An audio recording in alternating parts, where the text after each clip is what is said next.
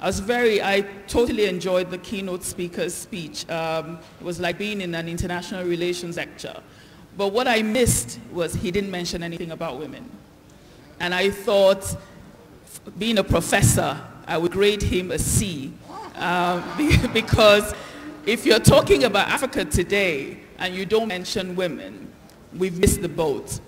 Right now, there's a trend happening in Africa with women-led funds and women-originated funds. Now, which I, I had one, an agreement like this that doesn't take cognizance of that trend is not up to date. And also, we talk about gender mainstreaming after the fact. I think the opportunity for the agreement is to do what I call gender centralizing. Make the, have a gender lens as you look at how you implement the agreement so that we're looking at how you implement men, women, and youth at the same time and not as an afterthought. Because if you look at what is happening in Africa now, uh, people are focusing so much on physically crossing borders. That's not really going to be the problem. A lot of the trade will happen virtually. So how do we ensure that there's intellectual property protection? Right now in Africa, you have less than a thousand um, approval for patents on the, uh, across the world. It's the lowest across the world. Even the process for approving patents often infringe on women. So it's, it's often bureaucratic, it's not user-friendly, so women who are innovators do not approach it. The agreement has, if it's going to help small, uh, uh, medium-scale uh, businesses, has to incorporate from the get-go a lens that looks at how to make things less bureaucratic, more user-friendly, and more gender useful. Thank you. Thank you very much, Mr. Ikio, for those very insightful comments. And it actually makes my job easy because I'll turn immediately to Mrs. Emanuela on, on my right-hand side. Uh, Mrs. Emanuela, if you could talk to us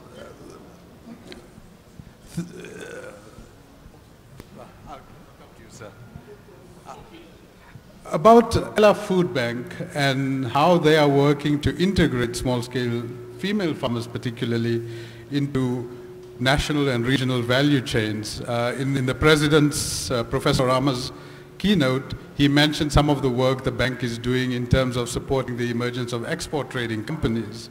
And uh, when I look at what Ella Food Bank is doing, it seems to be built along a similar model of integrating small-scale farmers, giving them an opportunity to access broader supply chains. If you could share your views. Good afternoon, everyone. Good afternoon, everyone, and happy birthday, Professor. I'm so happy to be here. Every time I see this kind of gathering, I'm so happy because I believe these are the conversations that would somehow crystallize and move Africa forward.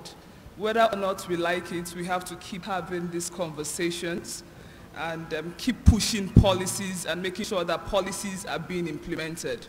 We never really implement everything 100% in Africa we never implement anything 50% in Africa. So going forward with your question, um, Ella's Food Bank started um, with cattle trading. I used to go to the border of Niger to buy cows. Um, we had to stop when they started the um, cashless policy because we couldn't gather cash to go. Women from Lagos go to Gumel, the border market, to buy cows it's um, a long way from Lagos. But most of the purchasers you see there are women. So I'm in tune with you when you say women have to be on the table. We have to participate fully to say where it hurts for small uh, enterprise, especially the ones that are um, done by women. We have to be on that table when um, policies are being formulated so that when policies are formulated, they are in tune and realistic with what we are going through. You know, so um, for Ella's Food Bank, the trade agreements that um, the, the ECOWAS trade agreements for us, we're, we're still struggling because half the time, even when you want to participate, um, the participations are not in reality. I, I don't know if it's just me, as a company or the product that I push or I sell or I participate in. It's not in reality the agreement and um, the trade practices in reality with what we find in the markets. Simple buying and selling, trading, it has to be made so that it is an ABC understanding of, of trade. It doesn't have to be so sophisticated so that anybody, whether educated or not educated, can understand it.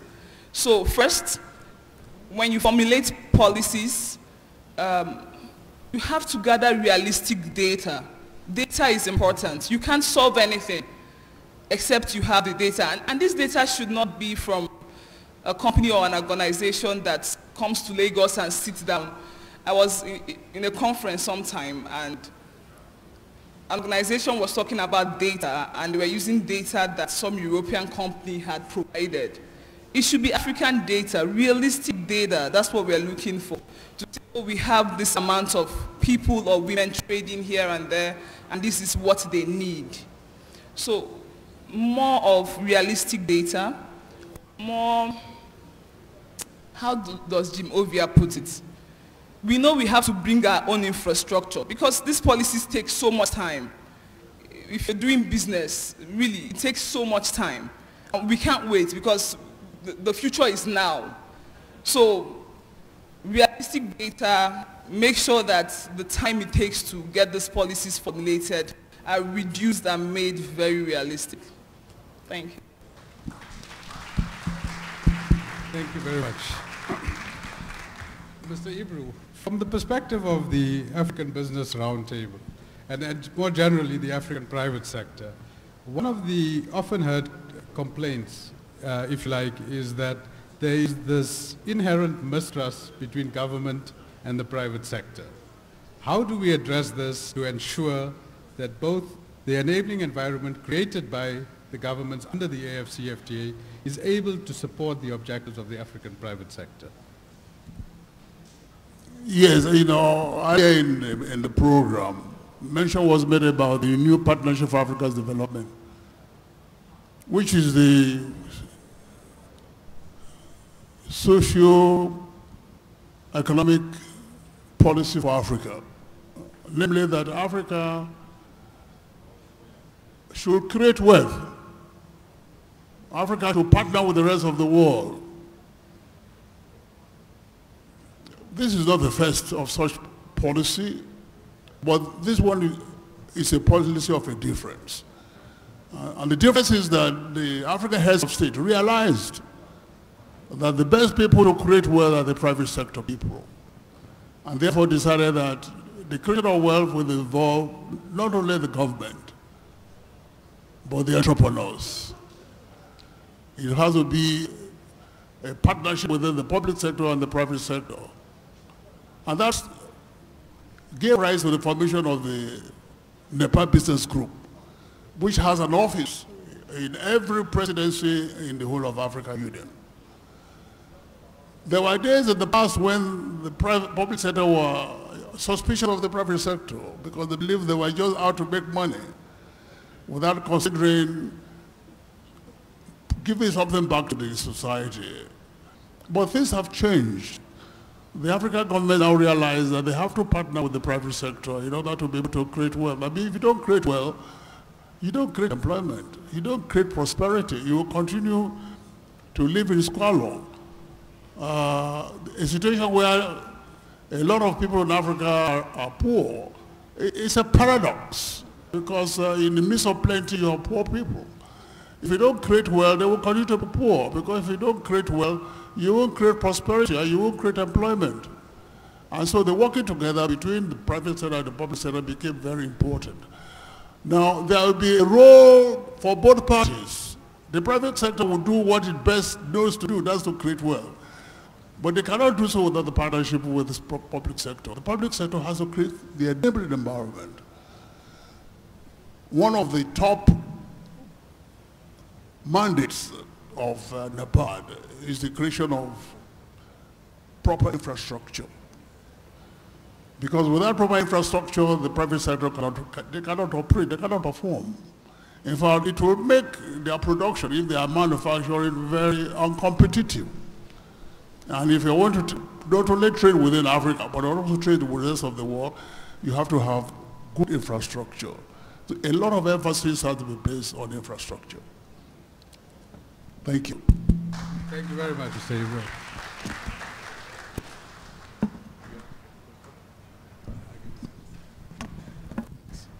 Tommy, coordinating the, the private sector to engage effectively on policy issues uh, is becoming extremely important, not only in the context of the AFCFTA. We recently saw uh, SACU member states plus Mozambique conclude the EPA and roll over a similar agreement with the UK. Uh, we've seen China enter into an MO, uh, FTA with uh, Mauritius. And most recently, uh, the US has announced that it will be negotiating an FTA with Kenya. Uh, these agreements are likely to serve as models for the rest of the continent. What is being done at the continental level, particularly under the Pan-African Private Sector Trade and Investment Committee, and also towards the establishment of the African Business Council, to ensure that these agreements do not undermine our integration, but also provide an opportunity for African enterprises to derive the maximum benefit from the, the free trade areas being created.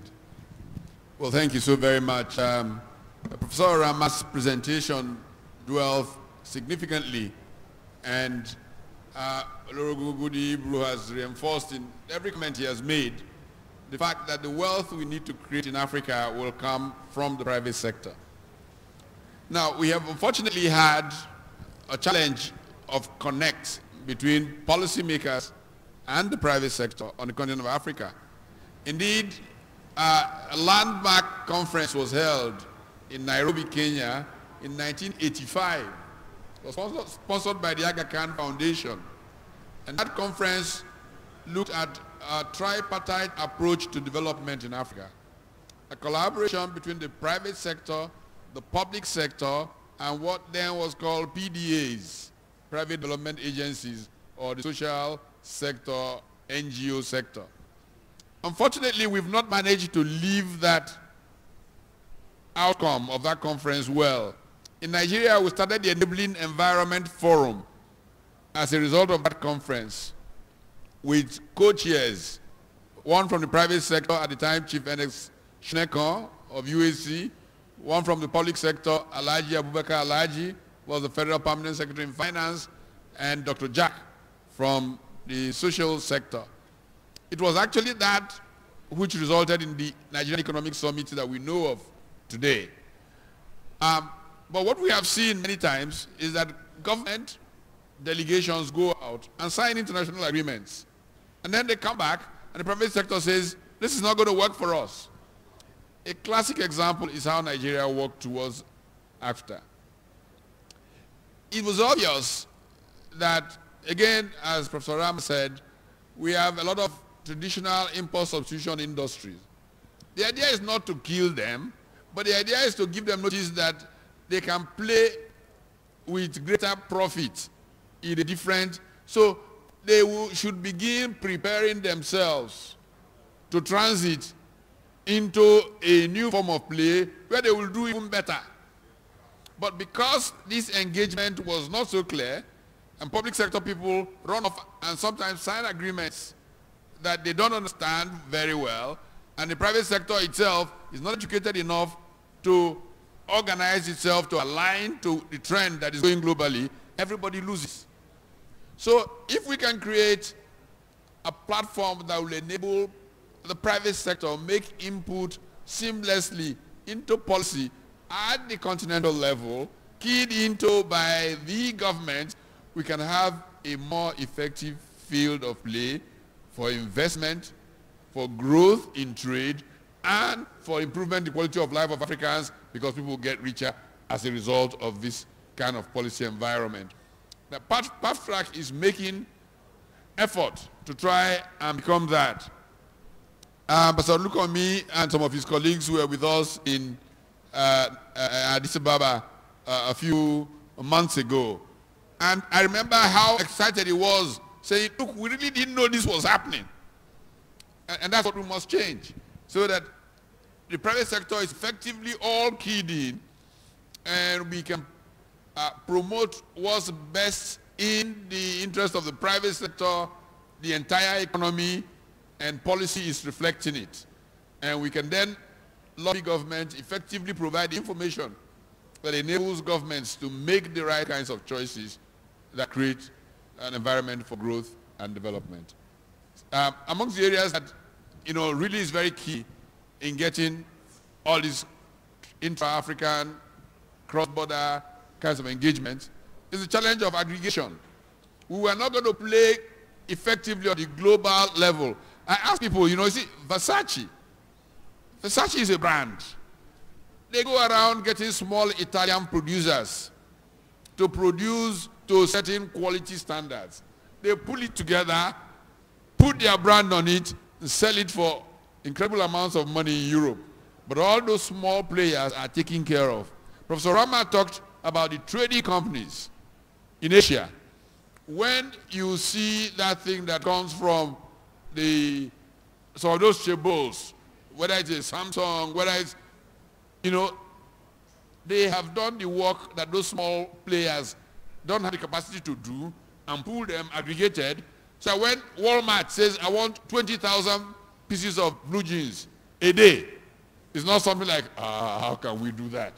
Because it could have been. And many of these aggregations have to happen across borders. Facilitating policies that will make that happen is critical for development, growth, and the wealth of this continent. Thank you very much, Professor. Uh, in the interest of time and as we, we wrap up the session, I'm going to try and be a bit provocative if, uh, to the panelists.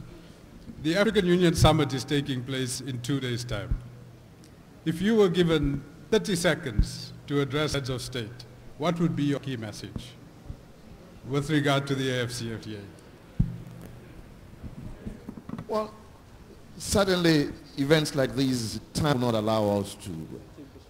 The first thing I want to say is that I'm indeed very glad that the chair of the Nasima MSME is here, my dear sister Um, one of the things we want to do is also to see how we can you know, give meaning to it. And the potential is there, and we've tried it and it's working. Uh, because looking at the SMEs thing, and like we said, we want to, in SEMA, that is what we're doing. And one of the things we're doing is using the respective chambers, because part of the problem also is that we just concentrate and wait here in places like Lagos, all of that country, the subnational level. So we are working closely with her in terms of how to make these things work at that level as far as the MSMEs themselves is concerned. I must also finally say something about the young people. We have the National Youth Entrepreneurs.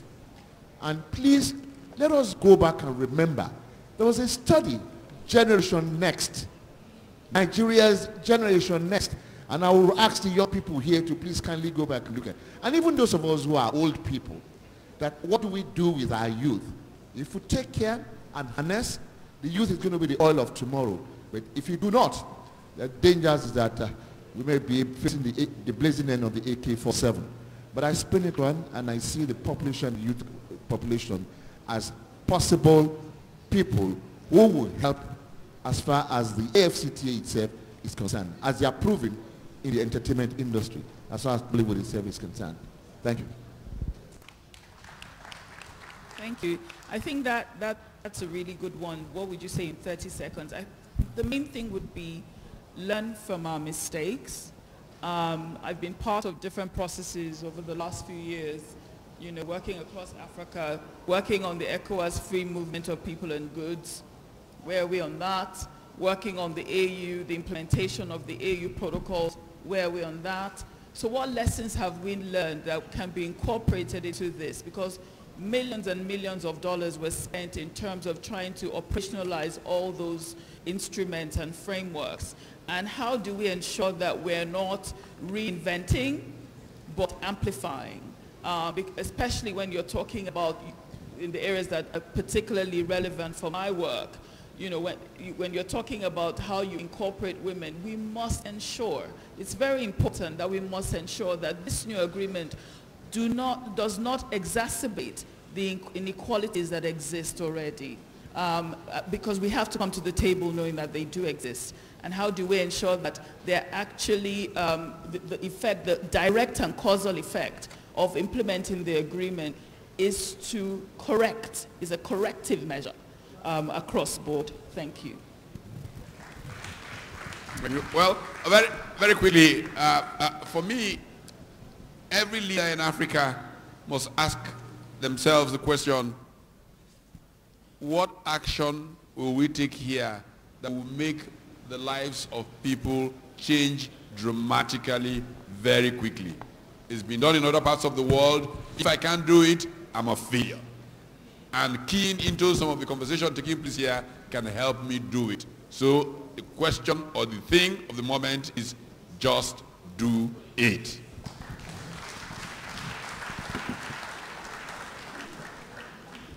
Um, for me, it would be um, food waste. A number of, huge percentage of food produced in Africa goes to waste. So once more, build the infrastructure, that's cold rooms, um, install silos, of course, public-private partnership. When you get the private sector to come in, don't multi-tax us. It shouldn't be Nigerian tax, um, ECOWAS tax, all sorts of tax. Make it simple, straight to the point, because everything has to be so complex. We shouldn't make it complex. Very simple, basic, build the infrastructure, sustain them. When you do policies, people that matter that are playing key roles should come to that table and say what they want. Don't assume this is what we want. We want sustainable policies. That's it.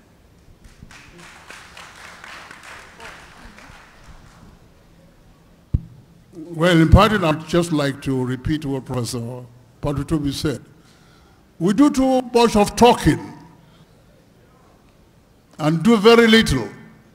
We talk about how the potentials we have. We don't talk about achievements. Let us forget what our mistakes we've done in the past. Don't let us blame colonial powers for our problems. That is over now. We've been independent in Nigeria over 50 years. Let's put our future in our own hands.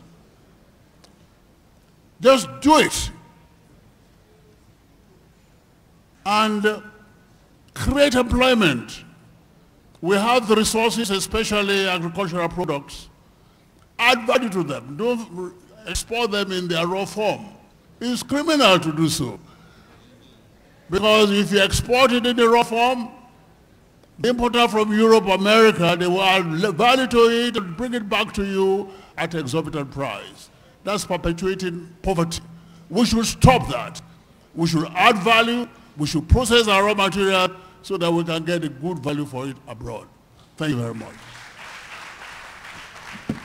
Thank you very much, Mr. Ibru. Uh, and with that, I think we've, we've reached the end of our discussion. Uh, let me thank our esteemed panelists and convey my hope that uh, similar dialogues will continue. Because in the words of uh, famous Brazilian philosopher Paulo Freire, trust is established by dialogue. Ladies and gentlemen, please join me in thanking the participants with a warm round of applause. Trust is established by dialogue. Thank you all please rise for a group photograph. And then the next panel will come up very swiftly. And that is the final panel session for today.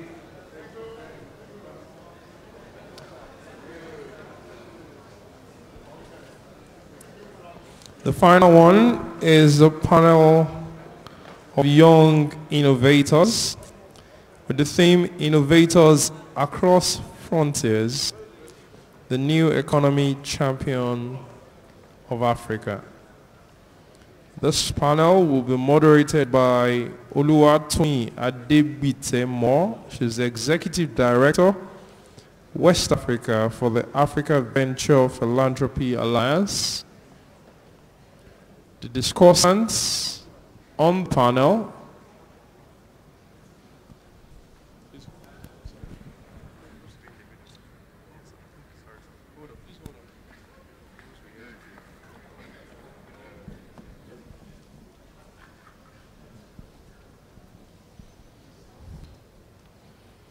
The discussants on the panel are Bishop Feb Idahosa, who is the president of Benson Idahosa University, we have the executive director of the Paradigm Initiative of Nigeria, Gbenga Sesan. We have the co- the co-founder, Go Do Hub, and director of Founder Institute Lagos, Chukwuemeka Fred Agbata. We have managing director, CEO, News Central Television, Tony Dara. And last but not the least, Habiba Ali, the MD, Sosai Renewable Energies Company. Also to join that panel is the director of the Center for International Center for International Advanced Professional Studies, Professor Anthony Kila. All please come up now. Feb Idahosa, Gbenga Sesan, Chukwuemeka Fred Agbata, Tony Dara, Muji Dayo Dumoye, founder Juvenis Spa, Habiba Ali, and Anthony Kila. Please put your hands together for every one of them.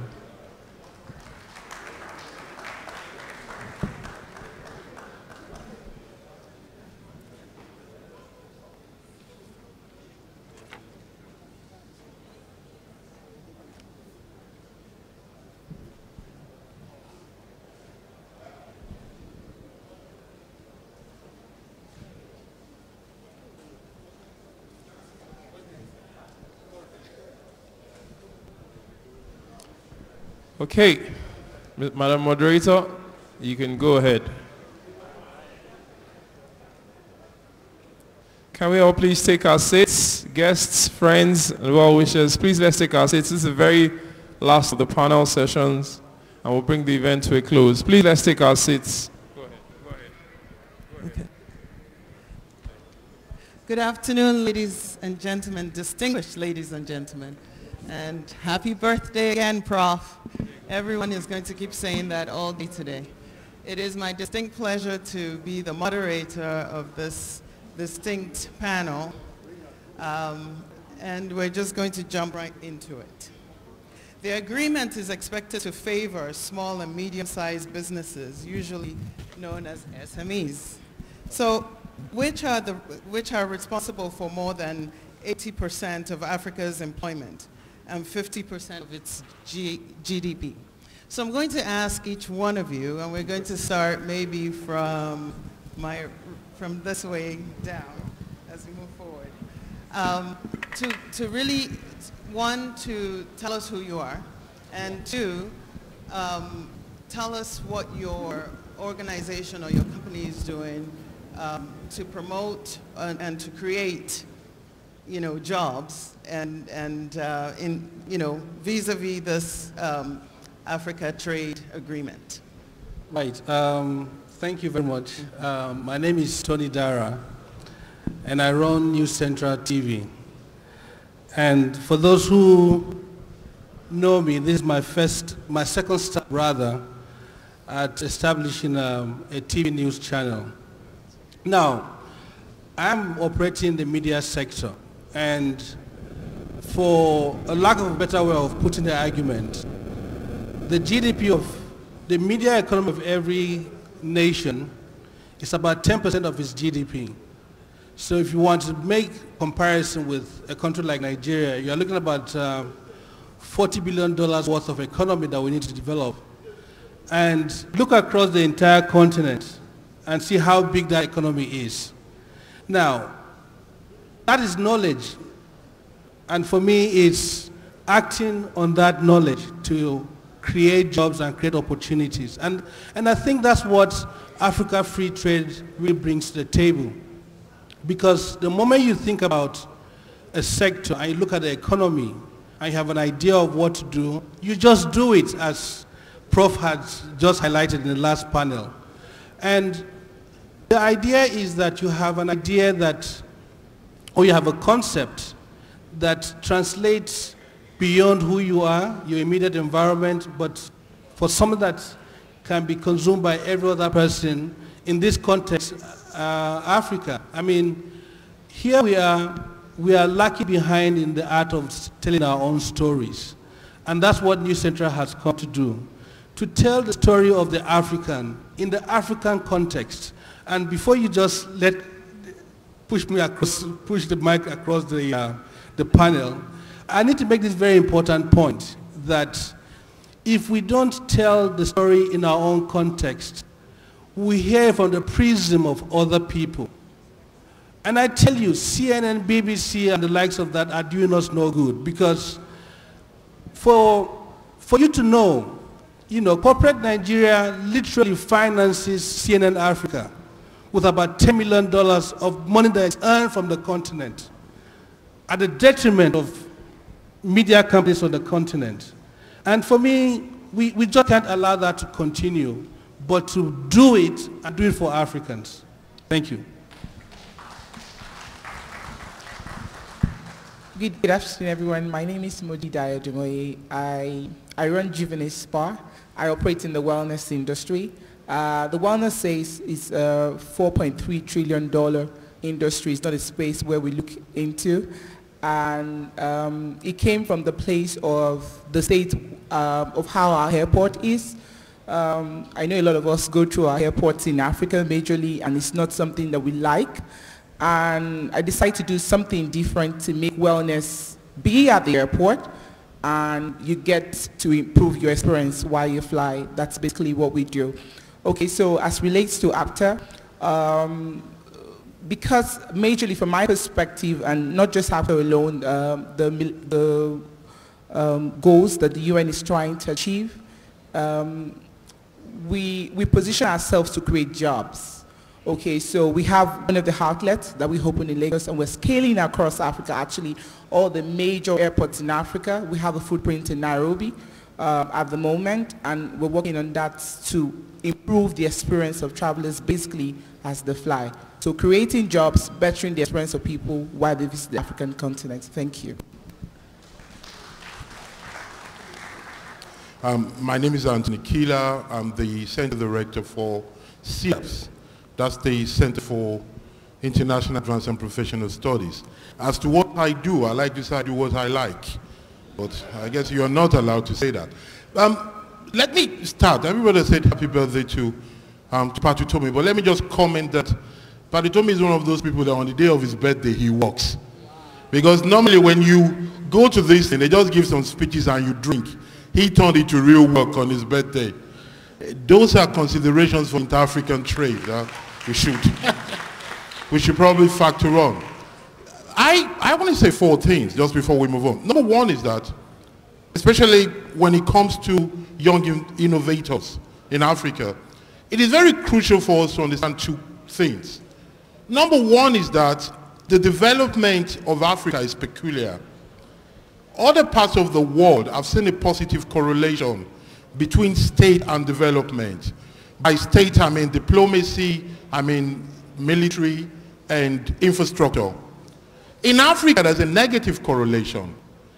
Everywhere the state goes, development dies.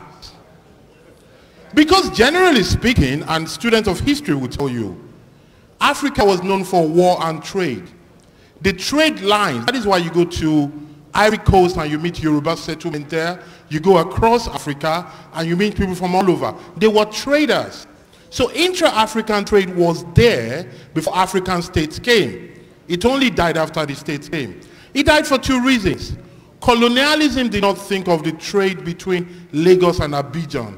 It talked about trade towards UK, France, and Germany, and Portugal. And when after colonialism, the post-colonial leaders did not sit down to effectively say, how do we trade amongst Africa? I say this because inventors and SMEs must know that the state is a necessary nuisance. Um, Goodie Ibru gone. He went to my school, decades ahead of me. I was a very bad footballer in my school. But he always put me in the team because I was needed in case they needed to talk. So we should, SMEs should consider the state as a necessary nuisance. Development comes between partnership, between the real creators of wealth and jobs. And that is where the focus should be on. Now, as to what we do, and I guess what got me to my ticket here, and to the after things you do, and I'm very happy to see John Dara here because we need to talk about that. We are trying, based on that philosophy, to create a platform to actually aggregate and expose Nigerian producers, especially young ones. So the idea, and it's not a very novel idea, just the way the Made in Italy brand was created, not being an Italian, I served on that board, in which they created an actual brand. A, board was set up to say, let us create and promote and sustain the brand made in Italy after the war. And it's still on today. We thought, let us start that from Nigeria and then go to Africa. And I think that kind of consciousness to say, we want to create this kind of project, this kind of brand, and then allow people to aggregate around it is what we need. And here I go to my constituency. And the only way to do it when we talk of conscious effort is to link the academia and production together. There has to be thought behind action. When there's no thought behind action, it will never be sustainable. Thank you. Excellent points. Uh, my name is Feb Idahosa, and I'm the president of Benson Idahosa University. Uh, I want to say thank you for, to Prof, and also congratulations on your birthday, sir. What I do in terms of what we want to see happen in Africa, because just like you said, African development will not come from outside the country, outside the country. It must come from within our borders. So what we do is we, we encourage young men and young women that are in school. Um, we first of all began by saying, how do we increase Africa um, communication? We're teaching French. But French, teaching French is just, will just help reduce borders across West Africa. So let's go beyond that. So we went beyond and began to work with um, our young men and young women at the university, just as the young, the young other panelists spoke about just now by creating um, um, courses that would integrate entrepreneurship, integrate business into your classwork so that that way as you study law or as you study engineering, you understand finance at the same time. That will help you be able to seek beyond just your course of study. Um, so we went beyond that and we began to take that into creating clubs like our Young Diplomat Club that teaches, that connects young men and young women from our schools to other schools across Nigeria and then across Africa. So they begin to understand that Nigeria is not the only place in Africa. Um, everyone else in Africa is part of the bigger conversation. Then we'll be on there, and I think where we are right now is we, we, we start talking about saying, just like Prof, Prof earlier on, we have to create wealth by creating value. And so we must teach our young men and young women to create value. So, so entrepreneurship then goes into creating value.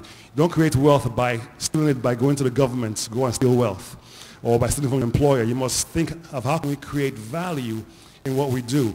As we do that, then we began talking to and seeing that our young men were doing a lot of, doing a lot of work. But um, as we're just hearing just now, we need to also look at what can we do to decrease the inequalities. So for example, we're working with men and women, young men and women, and saying, young women, we're seeing that we don't have enough representation of young women at the table. So our work now is saying, what do we do to increase and amplify the voices, just as we're here just now, amplify the voices of young women. Let's not do things, as you said, to, to create or to exacerbate the inequalities that already exist. Let's work with our young women and begin to show them that they also need the conversation. You see, uh, the young women make up the, the greater part of our population. And when you realize that, you must understand then that we need to push and encourage them to begin to say, in this space, we have a voice. So what we're doing now is we're saying, okay, how do we amplify voices? So we have a program that we're using now to say, look, by the year 2025, can we find and create five strong women in the areas of entrepreneurship? Can we create five strong women in the areas of education? Can we create five and, and strong women in the areas of filmmaking? You. Um, by, by, by, by encouraging them, by connecting them, connecting them to mentors in Nollywood for filmmaking, mentors in engineering to show them that, okay, what's what we're doing, what's, what you want to do has been done. This is how it's done. As opposed to, uh, don't try to, you will not succeed, do. That's what Nigerians do. But we actually do it's been done before. So can we get someone who has already done it before and show you how that can be done again? Uh, there's a very, very, um, the, the, the number of young women in technology, in IT is, is low in Nigeria. Can we increase that number? Now, my, my point for doing all this is saying this, that if you begin to work with young women, and of course young men, of course, but, but going to work with these young people and say, in Africa, we are underrepresented in, in the rest of the world. Now, if we increase your knowledge, your understanding in these areas, what can we do to strengthen Africa? Once that's done, then our voices can be heard. So we amplify your voices as women, amplify your voices as young people, and then you leave and begin to create value. As that value is created, then you can exchange it across borders, and from there, you create a conversation that the world will listen to. That's where we start. So. Great. Thank you. Thank you very much. Um, good afternoon, everyone. Uh, happy birthday, Prof. Um, so my name is CFA, um, well, Chukwuemeka Fred Agbata, but people call me CFA, and not the financial CFA. These are my initials. Um, so, um, you know, I mean, I can't talk about, about my story without mentioning uh, CVL Role Model Forum. Uh, many years ago, I signed up for the Role Model Forum, and each week we gather to listen to established entrepreneurs tell us about the stories of their lives. And one day, um, Mo Abudu came to share her experience. And she talked about how she left her plum job to go into broadcasting. Now, I always have a rule. Each time I go for those programs, I leave with a goal in mind. So that day, I left with that goal that I was going to get onto a media platform to share my thoughts about technology, disruption, and how I can make the most of it. What cut the long story short, that was what led me to start with Nigeria Info. So I started my radio show there, and from there I moved on to, um, to print. I write for Punch today. I have a column called ICT Clinic. I moved on to Channel TV. I run a TV, I have a show called Tech Trends on Channels TV. Now, my, during the course of the show, I started moving around Nigeria, and I was looking at how we can use innovation to help empower young people and create more jobs. Now that led me into doing a couple of other things. Now today, I serve as the regional director for Africa for Founder Institute. Founder Institute is the world's largest pre-seed accelerator designed to help drive entrepreneurship, innovation, and also help Nigeria prepare for disruption that will be caused by automation, by AI and the rest of it. Now the goal for us is that every year we will take a hundred young people through an incubation program that will better prepare them for the future. And the whole idea is that we need to create jobs. We have realized that one way to get Nigeria out of the quagmire that we are in today, which is caused and fueled by poverty, is to create jobs. And so that's the role that I play today. And not just in Nigeria, but across Africa. So my, I cover most cities in Africa. And everywhere we go, we preach one message. Africa, Nigeria, get ready because innovation is coming and it's here already. Uh, because state government may ban Gokada for all they care, but some other one will come up and it will also disrupt. So it's the way it is. And so every young person here, please note this, that automation, disruption, um, AI, and the rest of them will determine your future. So leave this place trying to understand how to become a better you. It's not in your certificates, it's not in your degrees, it's in how, what kind of skill that you have and how you are able to better adapt. Thank you very much. Fantastic. as, as you can hear, everyone has uh, the story that they've told really, again, ties into what why the agreement is so important and why we need an African, uh, a free African um, trade agreement and, and to really implement it. So I, you know, some of you are probably wondering, what is she doing with that phone? As they were talking, I was taking notes. So this is technology at, at work. Um, so I want to, so I want to now ask our panelists, you know, to talk to us and, and tell us how, in terms of this area of innovation, and CFA has already started. You know, I met CFA during the, the, the large, um, you know, innovation support network um, um, event. And again, just as passionate as he just um, is, he continues to be that passionate. So I really appreciate uh, the energy that you bring to this panel. Um, maybe we can talk very quickly, maybe starting first, and I have to say, Bishop Feb Idahosa. he, he, he, he, announced himself as just uh, Feb Idahosa, but he, he's a bishop, and he's also someone that, again, is trying to do a lot with his university and the school as well in, in Benin. So tell us a little bit about how technology is, is being you know, used um, as, as a tool um, that will help uh, the next generation or this current generation as well. All right, well, thank you very much. Um, first of all, when I was born, there was no bishop on my birth certificate. it was just Feb. So, right, so what do we do? Um, we realized, like as we heard earlier on as well, that the fastest um, integration of technology into Africa and into what we're doing is by young people. I remember when I was a child, my parents would tell me to fix the TV. And then now I'm older, I'm telling my son, who's only eight years old and nine years old, to, to fix things for me. So young people are the ones who are actually pushing the envelope when it comes to technology and things, and, and things that happen. So what we're doing is we're encouraging our, young, our, our, our students and everywhere else we go to use technology um, through apps and through different, through different ways of learning. We're, we're, teaching at the university not just by copying notes. That's what everyone does. You just copy notes. But why, what, it'll take you five minutes to type notes into, into your computer, put it, on the, put it on the projector, and then send to, one, send to everyone in the classroom so they'll have the notes ahead of time. But our archaic mindset wants us to, to, still, to still go back there. So we realize learning is done, learning is so different. The next, the next frontier for learning is not going to be done in the classroom. It's going to be done on people's um, tablets, phones, etc. Um, next few years, you're saying the ban Gokada. The next few years, there'll be driverless cars everywhere. So you won't even own a car anymore. You just simply pick up your phone or whatever that's there, pull up a car, car will come and pick you up, drop you where you're going, and it will disappear. So we're realizing that disruption is coming, innovation is coming, so we are encouraging our, our students to embrace technology and to say, whatever you must do, do it with the idea that the future is coming. So we teach with the idea of the future coming.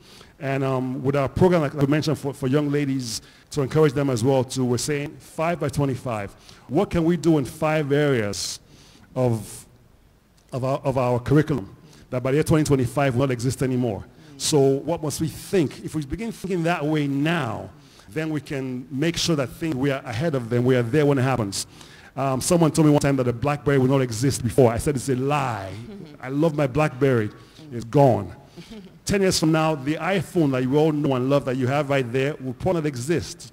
So think about what will not exist in five years, and then how can you position yourself to be there? We say that Africa will change.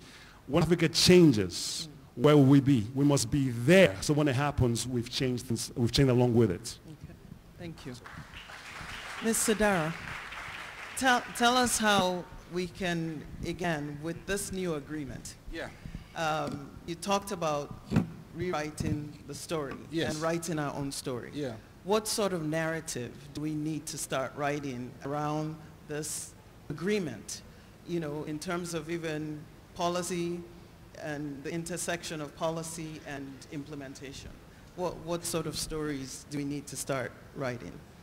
I, I think we need to um, get on to the doing it aspect of things. And, um, and I would just speak from my own experience in trying to say that here we are, we want to speak the African story. Now, how can an African story come from the Nigerian voice alone? That's not possible. So you need to have the diversity of the continent on that platform. And um, in doing so, uh, News Central has employed people across the continent. We have people here in Lagos who are from Kenya, Zimbabwe, South Africa, and still counting. But here is a problem, that an African cannot come to work in, Af in, in an African country without a work visa, without a work permit, without all the barriers you can think of. Meanwhile, you have uh, a situation where non-Africans can come here with ease because of one thing or the other, because either they're in a sector that you know, Africans find more lucrative uh, uh, or more useful. In the case of construction companies where you have the Chinese who are coming in here with low or no education compared to our own people and having work permits and so on. But a fellow African from Cameroon will have to wait for months to get a work visa to work in an African country. And vice versa. You want to go to South Africa as a Nigerian, you need a visa. But if, you, if you're traveling with a British passport, you don't need one. You know, so um, we need to dissolve some of these barriers, remove those, some of those barriers. And I think the Africa Free Trade Act is coming to do that. And I hope it does that fast and fast enough because time is also fleeting as we wait to get all these things done. And it's not enough for us to gather around at AU summits or whatever summit we go to to talk about these things. We should, also, we should make it a priority that when we speak about these things, we are th speaking about solutions that have already been done, just the way we have now with the, uh, the Afrexim payment platform. You know, because, again, I need to provide payments to freelancers across the continent. How do I translate Naira to, to Kenyan shillings without converting to dollars first? These are the impediments. And when, when the uh, president of Afrexim Bank talked about the new payment platform, I was very joyous because I said, well, one barrier off. So these are the stories that we need to talk about. We have barriers that transcend uh, geographical borders that are quite economic and social in nature that we need to you know, dissolve very, very quickly to be able to create this pool of economy for our people. Thank you. Uh, Moji, thank you. Wellness is, a, is, a, is an area that is often looked upon as an area for the wealthy, for the rich, um, for those that have that disposable or extra income, then you can now go and take care of yourself and be in a place where you can relax and listen to some good music or get a massage or what have you. So, so you know, and we live in a country where, again, just sitting in traffic, your blood pressure is going to go up. Just being in traffic. We, we know what's been happening going, you know, on, on the bridge just recently, that there's been just an incredible amount of traffic. Um, and, and so on, you know, just the frustration of living and working on our continent. What, what is that industry trying to do to help, again, you know, the, the rate of suicide has gone up. Um, that things that we don't even used to hear about on our continent, we're hearing about it. What is your industry trying to do? What are you trying to do in your sphere of in influence as a, as a young innovator in this wellness area to, to help eradicate some of these issues? And, and again, how is that helping across Africa since you're moving your, your work across Africa? Okay, that's a, that's a very amazing question. Thank you. It's something I'm really very passionate about. Like you said, doing what you love. Um, I believe wellness should start not from when you get to the hospital. I think it should start from where you are. And I think a lot of um, issues that crop up that make people end in the hospital can be avoided if we pay attention and if we take care of ourselves. Okay, so uh, like everything in life, we just have to be intentional. You have to be intentional about your health. You have to be intentional about um, going out. I know it's crazy. I know traffic sometimes is something else, but you have to dedicate time for you.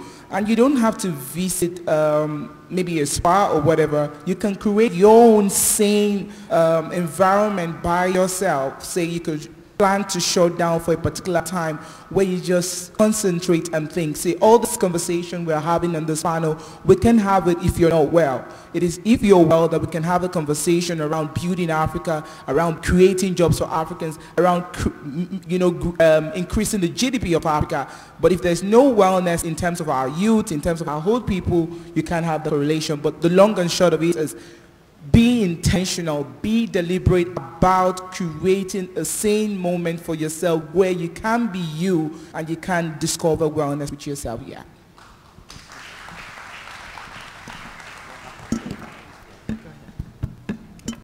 I just talked. so I was just going to ask about technology in, in your work and oh, how that, how you're trying to, again, get young people engaged in the work that you're doing and also looking at the gender lens. I know that uh, FEB has already won the hearts of Thelma um, talking about, you know, their work around, around um, genderless lens, um, you know, inclusion and, and, and investing. But please. Well, if, if the bishop um, won our heart with that, I will shock our heart. and I'll just tell her what we do as CIAPS is that we don't have male and female toilets. We don't separate them. We just have them as toilets. The idea being that if you're training business managers, There is no male and female in the boardroom. So let's start that from the classroom. And that, that's, those are one of the things we do. In terms of technology, one of the things we did immediately we started in Nigeria was to, from day one, make the center a paperless center. So that anybody that studies or teaches at CIAPS would not use paper. And lessons are taught on the screen and you get in your Dropbox or your email straight away.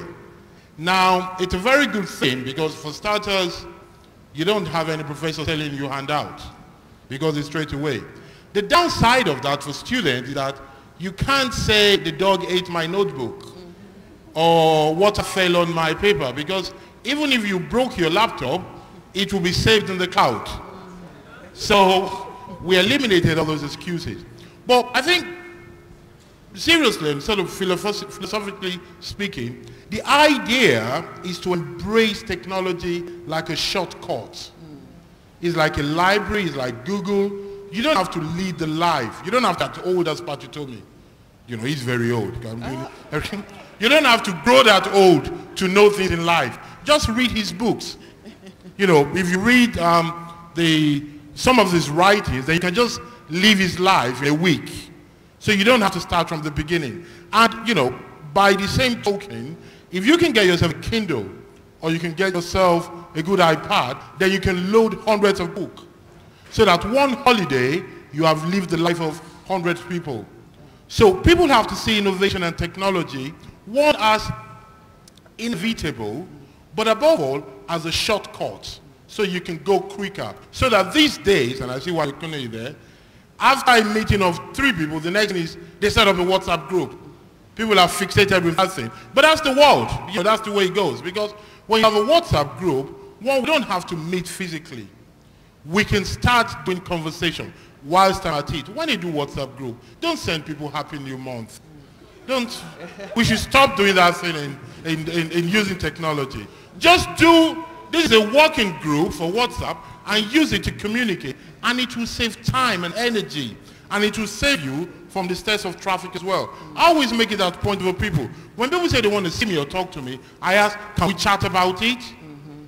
But you know, you don't, it, it saves you a lot of that mess. And I say something straight away. John Dara's here. He says it's second time around. It's a shame that people don't recognize John Dara straight away. Your problem about are we financing CNN Africa, trust me, with the kind of content you did with NN24, there'll be no problem. It's not about protection, it's not about pathos, it's not about emotion. As the uh, Professor Oramah said in his speech, and I was just commenting on his speech earlier on that the keynote speaker speech is like red wine. you take it, and after time, it starts coming out in you. Bishop doesn't like it, but no mind. No, no. Never mind. Bishop drinks wine too. And there's a there's a strong point, you know, about the key thing is competition. And I think the CBN government said it as well. We don't have to be protective. We don't have to buy Africa because we're patriots. What we need to do is to teach African producers that can compete with the world. We just have to be competitive. And the way to do that is by using technology. The idea, I always tell people, when you bring a project to me, I say, Google it. Who has done what before?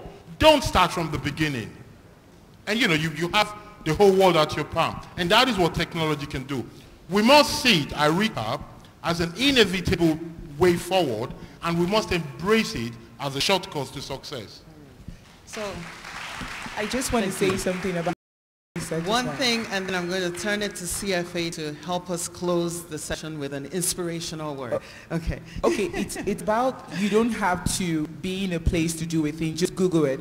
I remember when I was going to start the airport spa business, I've never seen it done anywhere in Africa before, and I just Googled it, like you said, and without literally visiting New York or Heathrow, I saw exactly how it was done. So Google it. Yeah. so thank you very much. So CFA, please. Okay, so uh, how many people here use uh, Candy Crush? Do you play Candy Crush here? Yeah. Uh, Minecraft? Yeah, some people. Um, so, but of course, a lot of people use Facebook, use Twitter, and the rest of them. Now where I'm going is that the truth is that um, while we respect things like AFICTA and the rest of them, I mean I sit on the, on the board or on, on the team of young Nigerians or Africans trying to make sure that we integrate uh, into the AFICTA system technologically. So understand what's happening there. But however, let's understand that selling innovation and disruption actually is borderless. So when I mention these products, you don't know where they are, but people buy them everywhere. Who's going to regulate Facebook? Facebook has a, a couple of, a handful of staff in Nigeria, but over 30 million users who use them, make good money from this country. Who's regulating Facebook? You know, so point is, technology is a leveler, it's a leveler, it's a game changer. Uh, Nigeria has to think through how we want to be positioned. And one of the ways to do that is to ensure that we create more opportunities for a lot of young people, which was why Tomi Davies and I and a couple of other people came up with Innovation Support Network. Exactly. What that simply means is that across Nigeria today, we have close to 100 innovation hubs. Now, in my movement around the country, I found out that a lot of them were struggling with uh, infrastructure, with facility, and most importantly, with curriculum.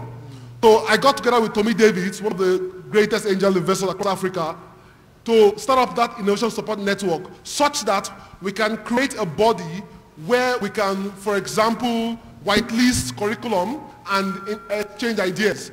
And we had our first program sometime last year. But the point is, we need to look at our country and every decision we make from the point of view of innovation. How would it help us to grow the jobs? Because think about it. Bishop mentioned driverless cars. When driverless cars comes, it means that drivers might lose their jobs. Mm. It will, and I'm being nice. Um, I'm being nice, right? Um, so this one comes with certain, so um, I, I, was lucky to join the Swedish government on a tour of the Swedish innovation ecosystem. Sweden is a country that has less than 1% of menial labor or menial jobs. So you can't see things like gateman, driver, those kind of jobs are gone. Full automation. And guess what, ladies and gentlemen? Nigeria will get there. How soon? I don't know.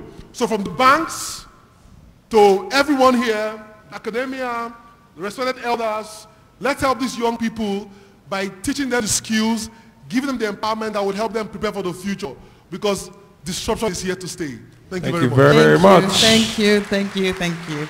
To our panelists, I'm so honored to be with you. And again, let's continue to co-invest, co-design, and co-create the future that we want to see, not just in Nigeria, but across Africa. Thank you. Thank you, Febi Dahosa, Chukwuemeka Fred Agbasa, Tony Adigbitemo, Muji Dayo Dumoye. Thank you very much. Professor Pat Utomi, please, we need you up here. And gifts boss, Professor Oramah, please. And Professor Utomi, female. Please join in. Mr. Chairman, I just want to have you coming up and going down again, but this is the last time we're going to do that, sir. Put your hands together for the former CBN governor and oldest man in the hall. It's the last time we're going to do this uh, uh, day coming up. Thank you very much, sir. Thank you.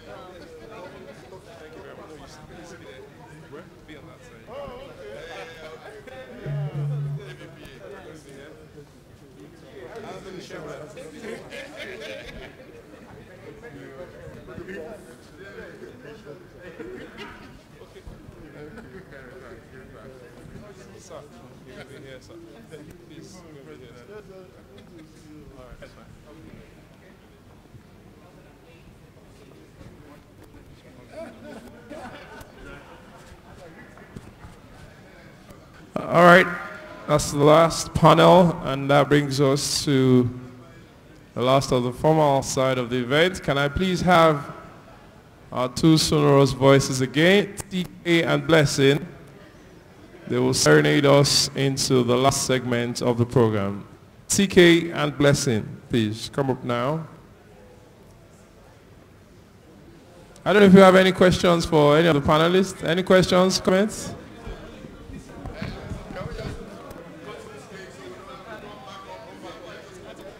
Okay. Can we have a glass of champagne? Sorry, there's a bottle of champagne somewhere there. Oh, sorry, it's champagne, they say it is. I thought it was champagne, actually. C-H-A-M-P. It's champagne now, isn't it? Yeah. All right, let's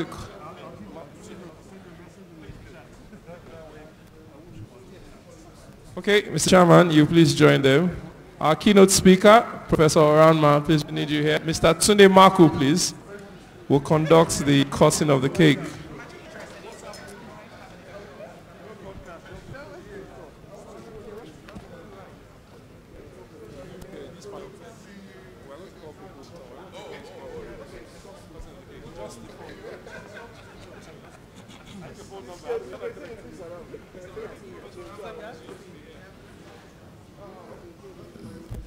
Yeah?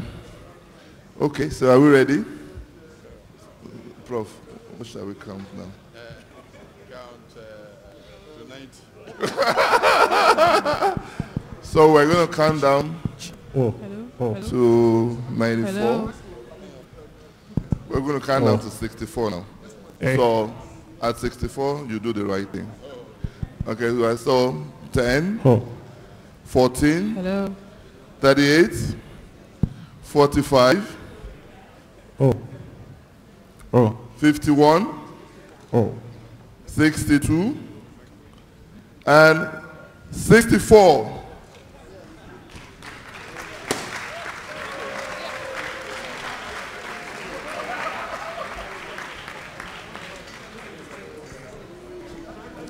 Happy birthday.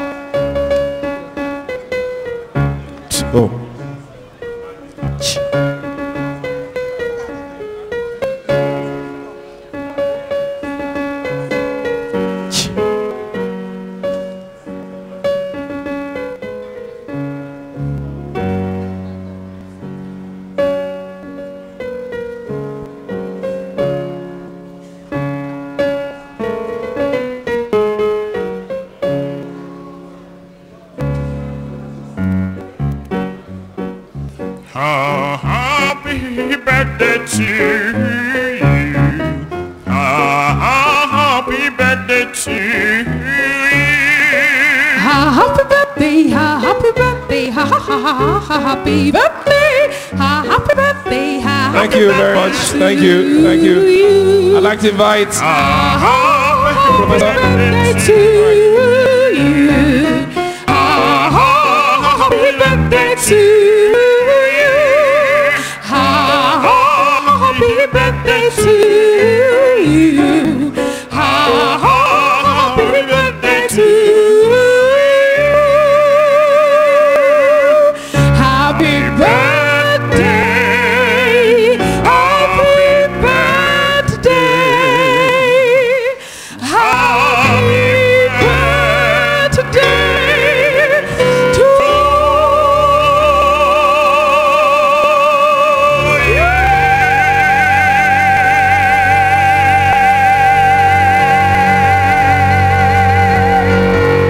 Thank you.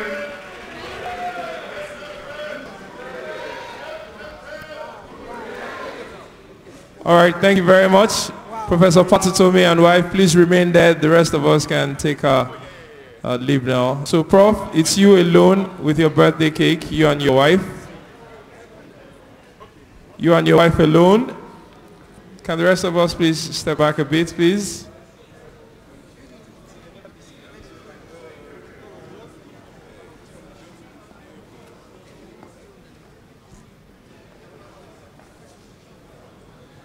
Prof and children, prof wife and children.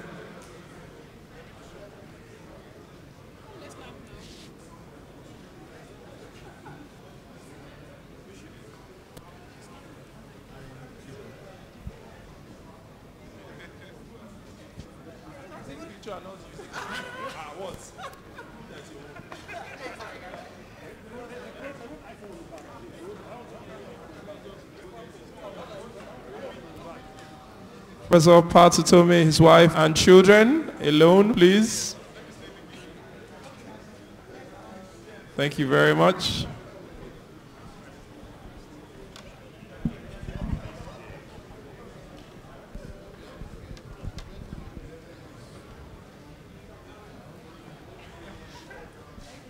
Thank you very much. Now, Professor Pat Utomi, his wife, and members of the last panel, the very last panel that spoke, members of the very last panel,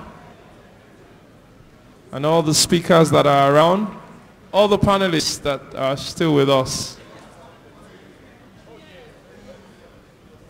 Professor Pat Utomi and all the panelists, please, from any of the previous sessions.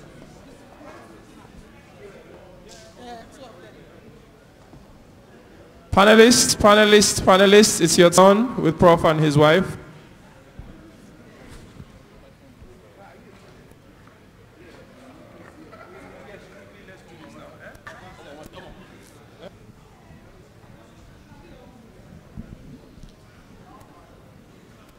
All right, let's do this at the count of 10, 9, 8, 7, 6, 5, 4, 3, 2, 1. Thank you very much. Thank you.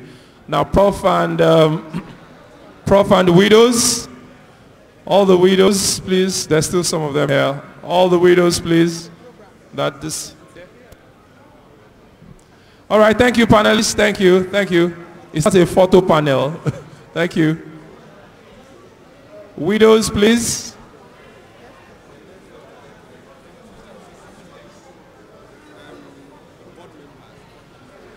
Board members of CVL, next, and, and students of Christopher University. Students of Christopher University, and then students of Lagos State University, and then students of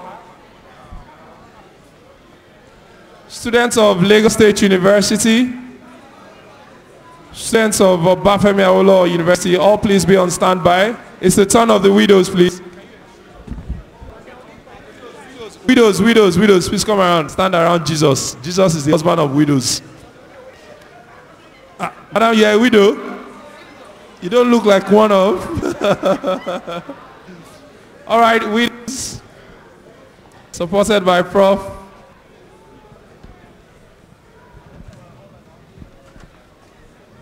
After the widows would have, thank you widows, thank you.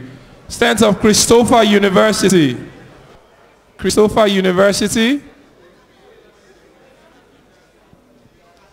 Students of Christopher University, please.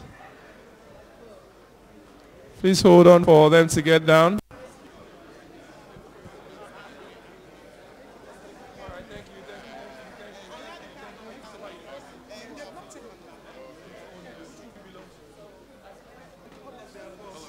Christopher University. Uh, Christopher University, please.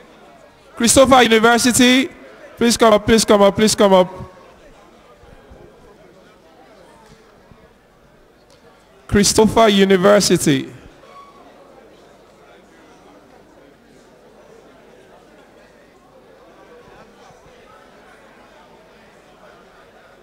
Christopher University has a large delegation, so we have to take it easy and hold on. They are coming all the way from Lagos Ibadan Expressway, kilometer 99.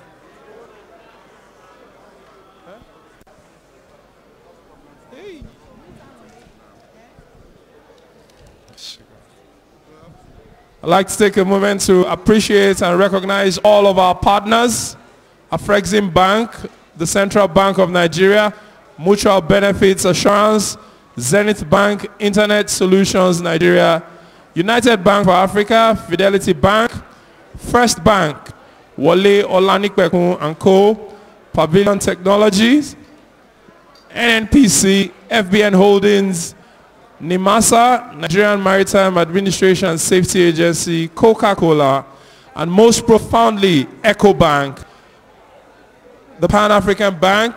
We want to specially recognize from EcoBank, Sunday, Abba, Business Head, Trade Finance, and Simon Unegbu, Manager, Trade Products EcoBank. EcoBank, the Pan-African Bank, thank you very, very much. We greatly appreciate you.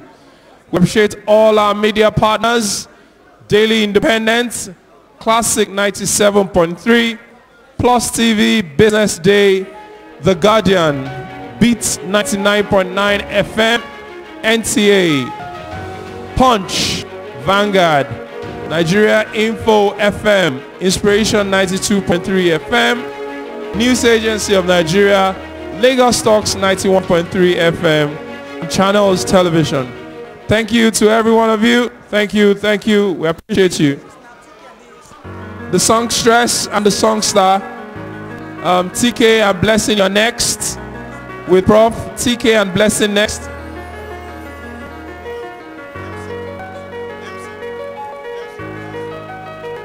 Lagos State University, please wait. Lagos State University, please take this way.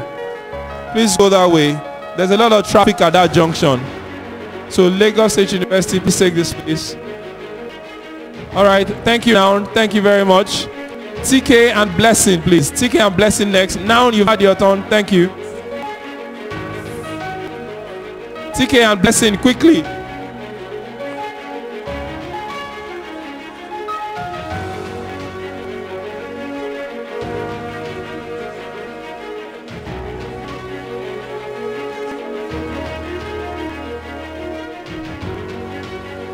Thank you, TK and Blessing. Lagos State University. There you people are too proud. Go, he's not taking picture again. Last to go back. That's how they were trending last week. They say they are proud. You people are too proud. CVL staff, please be on standby. You're coming next. After CVL, we're taking Wale Olanipekun and Associates. Lagos State University. We are doing this at the count of 10. 10, 9, 8, 7, 6, 5, 4, 3, 2, 1. We are Lasu. Thank you very much. Thank you. Wale Olanikpekun and Associates. Wale Olanikpekun and Associates. Wale Olanikpekun and Associates, please. Asu, you've had your turn. Thank you. You can start going now because there will be traffic at Yanoba. Wale Olanipekun and Associates, please. Wale Olanipekun and Associates. Are they here? They're not? Wale Olanipekun and Associates. Obafemi Awolowo University, you're next. The Anioma community, please come up stage this way. Anioma community, please. Anioma community, please come up this way.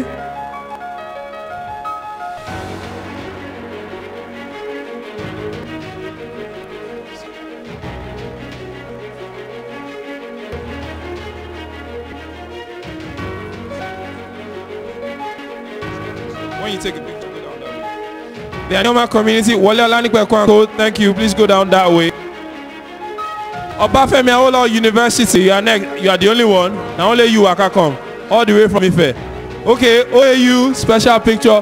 Where's Professor Orama? Come and take a picture with your alumni. Wait, wait, wait, wait. This is Ife. Oga, please wait. OAU, sir. Prof from Afrexim Bank. OAU, you are in Egypt campus. She's in the Mate campus. So you can come up stage now. OAU. After OAU, we are taking Anioma.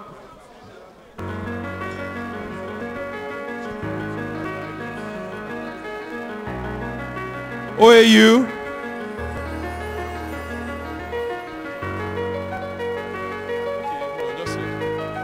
OAU, quickly please. Are you OAU?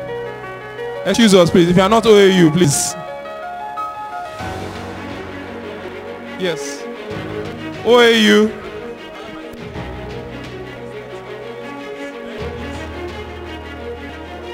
OAU. Going, going, going. Great Thank you. Thank you. Please go down that way, sirs. That's the exit. Anioma is next. After your picture, please go down that way. Anioma community is next. Anioma community is next.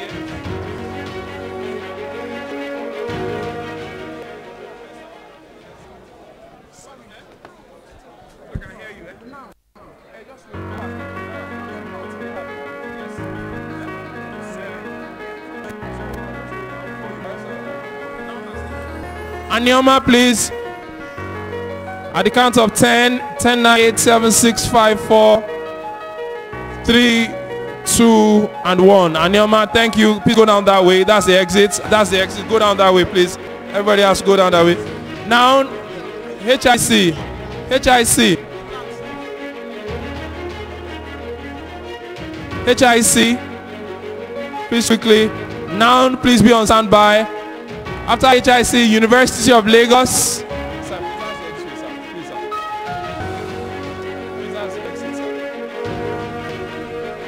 HIC at the count of six, five, four, three, two, and one. Thank you. University of Lagos, are they here? Okay, National Open University. Now,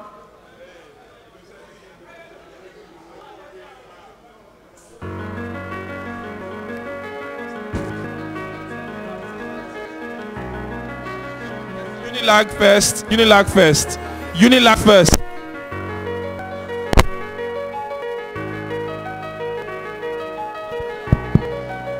Unilag. Sorry. Unilag. Akoka. Okay. That school very close to a swamp. Is it that school by a swamp? Near Bariga. University of Bariga. Akoka. Sorry. University of Lagos. Okay. So University of Oga, are you Unilag? Eh, why are you not here? You, your certificate should be questioned. I call you Unilag. You are not here. All right, thank you. Unilag, thank you very much. Thank you, thank you, Unilag. One, two, three, four, five, six, seven, eight, nine, ten. Noun is next. Thank you, Unilag. This way, that way, exit that way. Noun, National Open University of Nigeria. Go that way, go that way.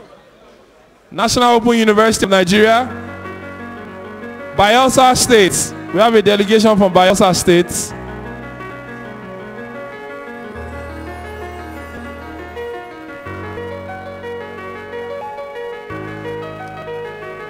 Members of staff of CVL. Members of staff of CVL. You are the ones who put this together. CVL, Center for Values in Leadership. All members of staff of CVL, this is your brain work. This is your brainchild. Frances, Modestus, Isioma,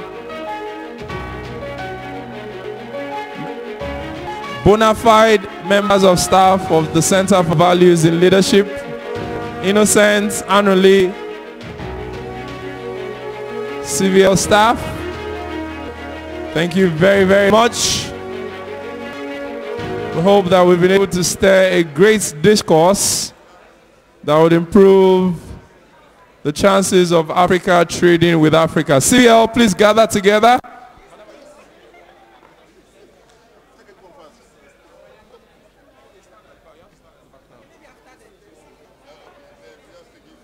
All right, thank you. Now, CVL.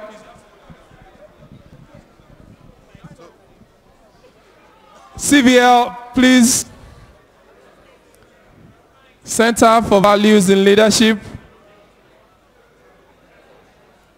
Center for Values in Leadership. CVL 10987654322 CVL, so I have to slow down. I can stammer for CVL. You have to go down that way. You have to go down that way. The same rules apply. Poise. Poise finishing school. Poise finishing school. Poise finishing school. Thank you very much, everybody. You've been a wonderful audience. Thank you for staying till the end. It's exactly 10.30 to 2.30, four hours. Thank you, thank you. All right.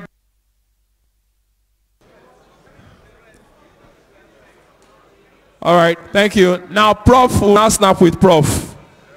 Everybody has snapped with Prof. The only person that has not snapped a picture with Prof is Prof.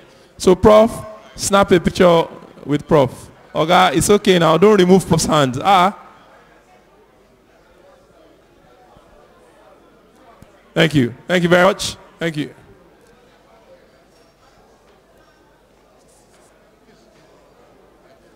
Prof, just you and your cake. Hold on. Prof, you and your cake alone. Photographer, please hold the knife or hold the cutlass if you like.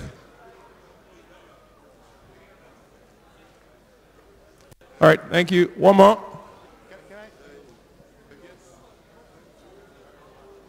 Friends and well-wishers. Friends and well-wishers will come after this. Are you not?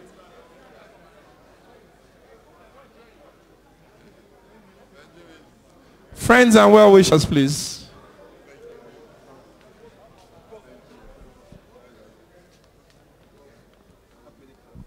The most photographed man with prof today. The award goes to you. Congratulations.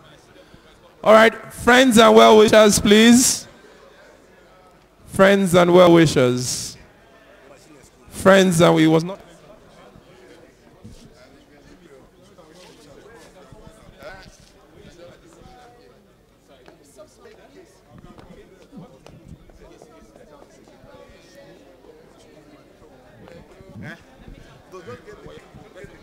fa fa family, friends, and well wishers.